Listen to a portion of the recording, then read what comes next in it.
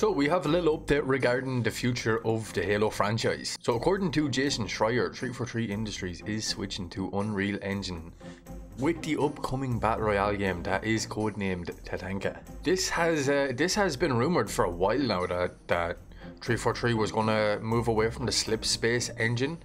Nobody's really sure if this is actually gonna happen yet, but so it would be it would be really interesting to see the Halo franchise move to Unreal Engine, I highly doubt that they're going to move Infinite over to UE. If Tatanka is an actual thing, I can see them making Tatanka on UE.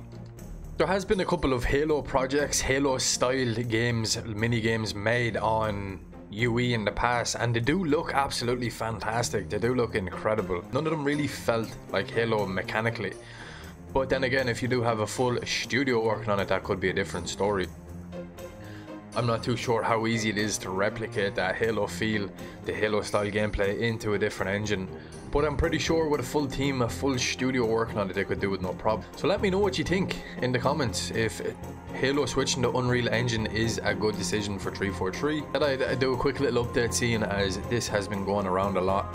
Currently in the process of moving my whole gaming setup boys so for the next like two weeks it's just going to be short videos and then i'm hoping to crank out some longer videos better videos more custom games videos and more top 10 forge maps and top prefabs coming soon. Till then stay safe and have a great day